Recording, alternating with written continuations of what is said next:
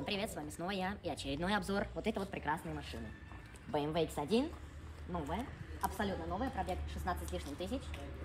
Взял я эту машину сейчас у дилера, значит, на темный дизайном. Ну, обычно X1, вот такие вот, никакие абсолютно колеса на самом деле, хотя вполне себе симпатичные.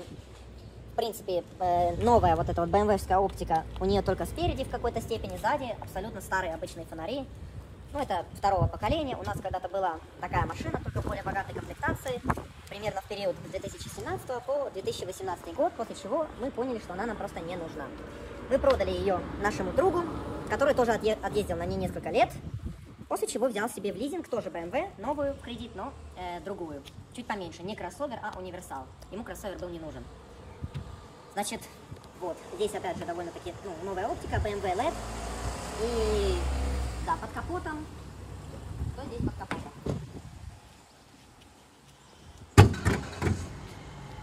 Типично для BMW нужно два раза дернуть. Газовые упоры хотя бы. Я недавно снимал обзор на Mitsubishi Eclipse Cross, и поначалу мне показалось, что эта машина лучше ее во всем. Но на самом деле, несмотря на то, что в целом, я считаю, европейский автопром хуже азиатского, американского, например, тем не менее, конкретно если сравнить с Mitsubishi и BMW, выиграет BMW. Если сравнивать, например, Volkswagen и Toyota, Toyota порвет Volkswagen как тузик грелку. Вот это я не знаю, почему открыто, к этому я не имею никакого отношения. Так вот, значит, здесь Twin Power Turbo, агрегат BMW. Технические характеристики я должен еще пока что узнать. Здесь ничего не написано. Но, смотрите. Valeo Made in Spain на немецкой машине. Ладно, это было сейчас просто заметил. Да, Valeo Made in Spain. Машина собрана в Германии. Машина собрана в Германии, забыл отметить. Вот. Изоляция, шумка. На Mitsubishi вроде как ее не было, я не помню. И гидроупоры. Правда, здесь капот не такой тяжелый, но может быть он в реальности весит столько же. Два вот таких пулька. В общем, все технические характеристики я напишу сейчас. Вот, вы должны их видеть на экране, потому что конкретно этой машины я их не знаю, в этой комплектации. Мне их не сказали. Мне сказали только цену на эту машину и то, что она новая. Прогибается она это нормально, это не Камри все же. Вот. В общем, цена. Цену я скажу немножко попозже, иначе вы просто выключите это видео, не будете смотреть его. А мне это нужно. Мне нужно, чтобы вы меня смотрели. Значит, переместимся в салон. Да, поворотник в зеркале. Это нормально. Сегодня даже Лада это имеет. Салон. Начнем с пассажирского места, так как мы уже здесь находимся. Никаких электрорегулировок на этой машине за, я потом скажу сколько, вы, естественно, не получите. Фиг вам называется. Значит, сиденья из довольно-таки недорогой и не очень удобной ткани. Они мягкие, но на солнце спине просто невыносимо здесь сидеть. То есть, реально, они могли бы за ну, вот, довольно-таки немаленькие, естественно, деньги сделать получше. Mitsubishi Eclipse Cross была эко-кожа и ткань. Да, конечно же, бардачок. Очень приятно отделанный, с микролифтом. А не такой, типа, на отшибись. Разве что здесь очень большой зазор, и он вот так вот ходит ходуном. Но думаю, что нам ко всем этим, на этому нужно привыкнуть. Значит, что здесь есть из удобств? По сути, на водительском месте то же самое. Вот, ну, руль разве что. Новый руль, новая машина, пробег 16 с лишним тысяч, но выглядит он, ну, почти как на нашей, которая от 2011 года выпуска имеет пробег по 200 тысяч. Но не суть.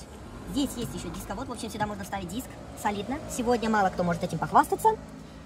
Ну, а по сути, в основном обычный салон X1, эм, новый экран, который вот так вот шатается, его, по сути, можно вырвать легко. На Mitsubishi он держался крепко. Ну, японское качество, это ни с чем не сравнится, на самом деле. Селектор передач, коробки, ну и, собственно говоря, отделано все. Качество довольно-таки среднее, здесь никакого микролифта. А, так вот это закрывается. Да.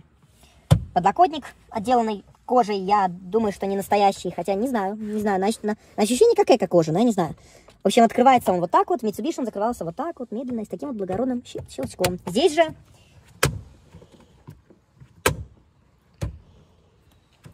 Gib mir das Geld und frage nichts. Что в переводе с немецкого значит «дай мне деньги и ничего не спрашивай».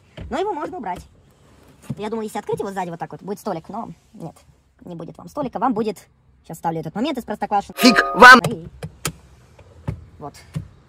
Но так сидеть удобно, места над головой предостаточно, что спереди, что сзади. С моим ростом метр восемьдесят сзади редко в каких машинах есть много места над головой. Я вообще, вот реально башкой ни- нигде ничего не касаюсь, только подлокотника. Господи, подголовника, ё-моё.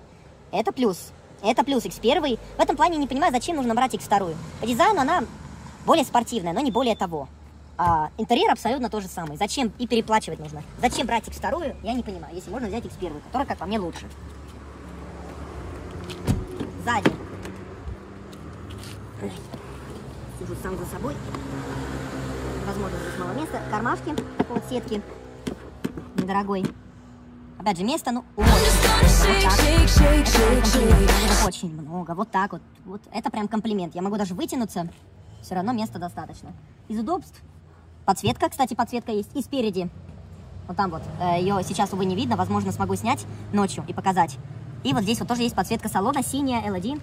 Диодная. Я не смог в настройках найти, как ее управлять. Но, тем не менее, да, качество среднее. Хрустит, скрипит. Вроде как жесткое, вроде как... Ну, оно мягкое, но потому что просто тонкий пластик рез- прорезиненный. Здесь все из ткани такой вот. Как будто бы бабушкин... Ну, как будто офисный стул, кстати.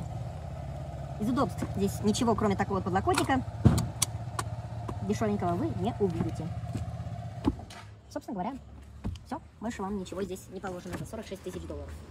У меня сейчас с тобой нету, но вы представьте себе, вот это деньги. Вы приходите к дилеру, даете ему 46 тысяч долларов и получаете это. При этом вы, возможно, знаете, что существует китайский, корейский, хотя бы корейский автопром. Что меня здесь также очень удивило, чего в Mitsubishi я не нашел. Электропривод багажника. Эволя! При этом смотрите, как он отделан. Вот такой вот органайзер. Такой вот ниша, вот такая вот сетка, которую можно и убрать. Прикуриватель сзади. Вот так вот. Ну все добротно, по-людски сделано, в отличие от Mitsubishi. То есть без какого-то консерватива, а именно с качеством. Хотел по привычке дернуть вниз, но нет. Что здесь отличается? Бесключевой доступ здесь есть, но я, честно говоря, сомневаюсь, что машина сама закрывается. Если это мне кажется, нужно нажимать на кнопку на ключе, на ключе. хотя я не знаю. Лучше меня, потому что здесь нету кнопки, как на Mitsubishi, и если я отхожу от машины, она не закрывается. Я сейчас отошел далеко, оператор стоит, машина не закрылась. Машина не закрылась. Так что не знаю, не знаю. Но это водительское сиденье. Здесь, естественно, тоже, опять же, никаких электроприводов нету. Здесь лифт, сиденье. Проволока, которая очень неудобно, на самом деле, сделана.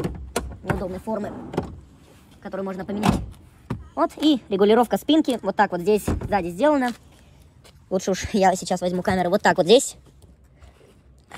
В общем, не очень удобно. Поначалу долго пришлось искать. Я вот тянул вот за эту вот штуку и вот э, кувыркался и думал, что это у меня резко тут, тут не это самое. э, спинка не регулируется. Оказывается, я просто что-то не так сделал. Вот, я также не знаю, с полным приводом эта машина или нет. Я знаю, что X1 бывает и с передним. Вот сейчас вот вы видите, какой здесь привод, передний или полный. Вот. Также, про- что я сделал в прошлом видео, которое я никогда на YouTube не выгружу. Здесь можно открыть багажник. В принципе, он просто откроется. Смысла нет показывать. Ручка, все вот так вот шатается. Машина сама по себе скрипит. Я когда при э, съемке первого видео вышел из заднего ряда, скрипела. Открыл дверь, тоже скрипела. То есть все здесь скрипит. Нажимаем на кнопку. Приборка не цифровая, она аналоговая, но сделана под цифровую. В общем, вот сколько здесь километров. Да, через 20... А, 2300 километров ТО. Вот такой вот пробег. Ну, в общем, вот. Конечно, по сравнению с Mitsubi- Mitsubishi мультимедийный экран, конечно, по качеству хуже, но картинка в сто раз лучше и сам вообще вот все.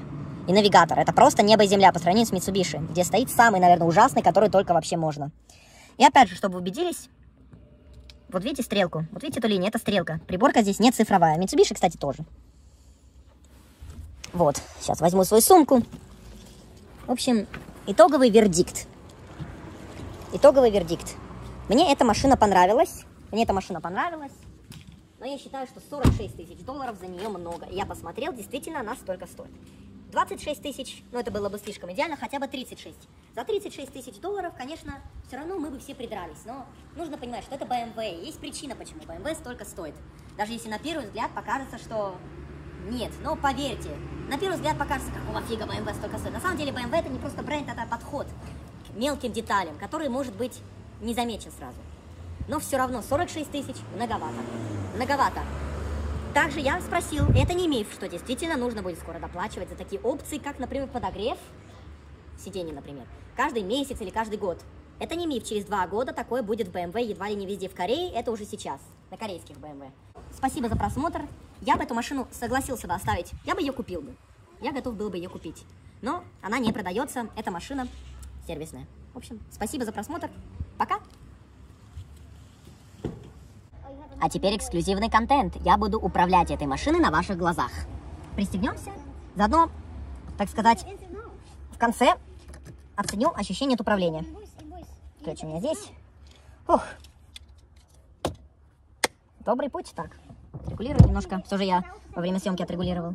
В общем, вот.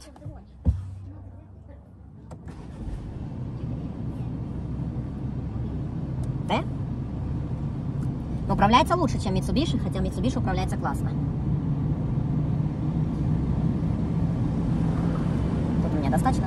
Но управляется она классно. Тут ничего не скажешь. Рулежка BMW это, это искусство. Это искусство. Вот, рули одной рукой, в основном левой.